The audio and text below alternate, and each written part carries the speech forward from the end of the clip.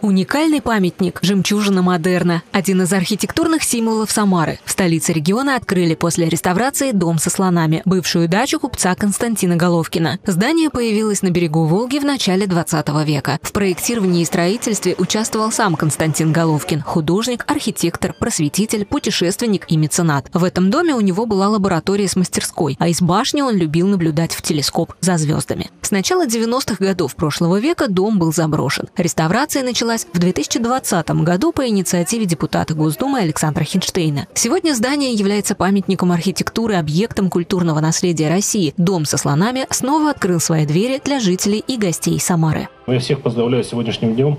Я хотел бы поблагодарить всех, кто принимал участие в воссоздании этого объекта. Конечно же, архитекторов, строителей, реставраторов, которые своим трудом этот объект восстановили.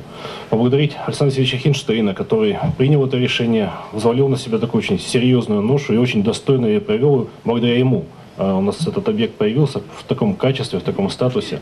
И, конечно же, хотел бы пригласить всех жителей сюда приходить, изучать нашу историю, изучать нашу культуру. В здании теперь будет музей и Центр креативных индустрий Самарского государственного технического университета для молодых дизайнеров и архитекторов «Архслон». Это не только здание нашего университета, переданное в федеральную собственность и закрепленное в его оперативное распоряжение. Это здание для всех самарцев, для всех жителей нашего города.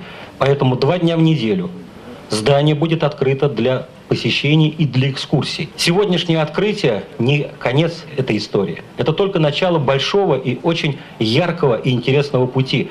Даже не начало, а, конечно же, продолжение, потому что мы продолжаем самые славные, самые добрые традиции людей, оставивших после себя память. Александр Хинштейн передал креативному кластеру картину, написанную Константином Головкиным в 1899 году. Благодаря сегодняшним меценатам ее удалось выкупить из частной коллекции, и теперь она украсит дом со слонами. Я думаю, что это место не будет пустовать. Оно и раньше было востребованным, действительно люди о нем знали. А сегодня, сегодняшний день показывает, сколько здесь будет жаждущих прикоснуться к этому чуду. Я вас сердечно поздравляю с сегодняшним событием, с наступающим днем города, всех благ и процветания Самарской области. Торжественное открытие завершилось процедурой гашения почтовой марки. На ней изображены картины Константина Головкина в хлебах и логотип «Самарский политех» на фоне дома со слонами. Светлана Кудрявцева, Валерий Майоров. События.